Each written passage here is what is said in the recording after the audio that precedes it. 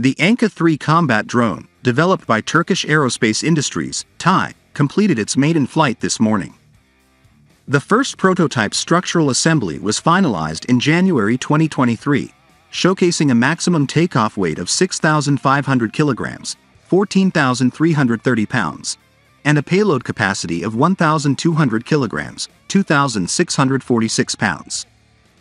Its capabilities include a maximum altitude of 40,000 feet, a 10-hour endurance at 30,000 feet, a cruise speed of 250 knots, 288 miles per hour, and a top speed of 425 knots, 489 miles per hour.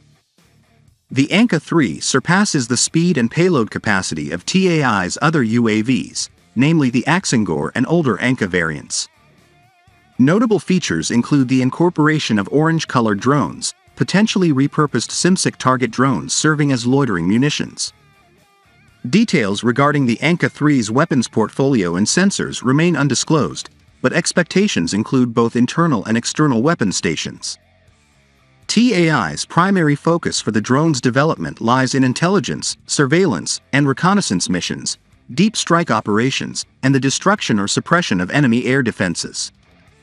Sharing avionic architecture and ground control stations with its predecessors, the Anka 3 emphasizes low radar visibility for covert operations.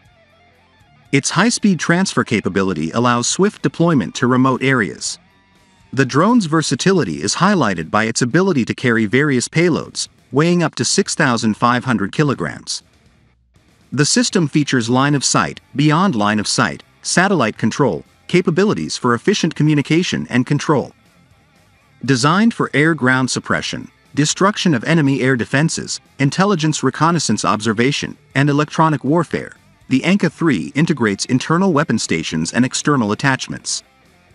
Among the outer station options are general-purpose bombs equipped with Teber 82 and Teber 81 guidance kits.